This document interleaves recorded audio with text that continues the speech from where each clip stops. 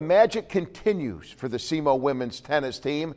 The Redhawks did it again, defeated SIU Edwardsville today in Paducah 4 2. That gives Southeast its second straight Ohio Valley Conference Tournament Championship. This marks the first time SEMO swept both the regular season and tournament titles and clinches their second straight NCAA tournament berth. Tiona Velasquez's 15th straight win in singles secured the victory give Southeast a record 17th win of the season. They tie that record, I should say. The Redhawks will find out who they'll face in the NCAA tournament when the bracket is revealed Monday, May 1st at 5 o'clock.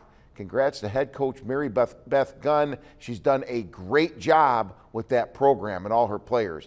Outstanding.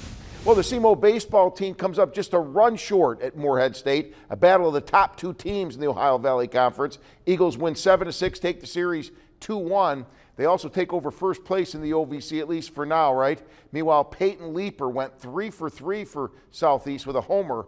The Redhawks host SIU Tuesday at 6, Capaha Field, of course. Meanwhile, speaking of those Salukis, second place SIU playing at first place uh, team in the Missouri Valley Conference. Indiana State ranked number 22. SIU gets out of a little bit of a jam here uh, and, and by the way, they got out of that one in the third. They were up, or excuse me, down 2 nothing. Lance Rhodes, their head coach, of course, a Sikeston native, he would see the Sycamores, though, break through an inning later. Bases loaded, they would start cashing in, and SIU falls to Indiana State. The final was 10 to nothing. And by the way, Indiana State 13 and 1 leading the MVC.